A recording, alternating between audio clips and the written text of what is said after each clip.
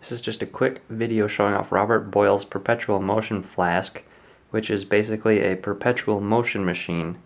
Um, the idea behind this is that it fills itself through a siphon action, um, and you, you would see if this were actually a working uh, one, you would see the water going down through the tube, back out the top, and filling the container back up again.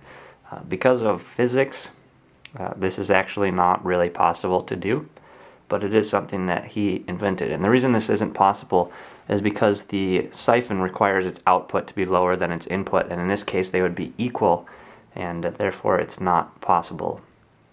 Um, just a quick few details about Robert Boyle here uh, from the Wikipedia page. He was influenced by people like Galileo and Francis Bacon, and uh, he also influenced Isaac Newton, and Isaac is considered to be the founder, founder of modern chemistry. Um, so I just wanted to kind of build a quick replica of his idea of this perpetual motion machine, and this is what I came up with.